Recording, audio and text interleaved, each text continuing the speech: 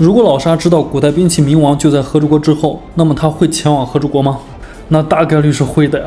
老沙可以说是追逐古代兵器冥王的第一人，他是第一个在海贼漫画剧情之中真正处心积虑要得到冥王的人。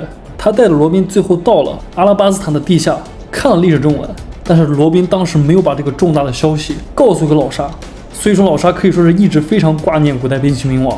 一旦获得了他的消息，老沙肯定会去的。他知道古代兵器是什么级别的存在。贝加庞克这次的广播又强调了古代兵器重大的作用，这估计会更加加强老沙得到冥王的野心。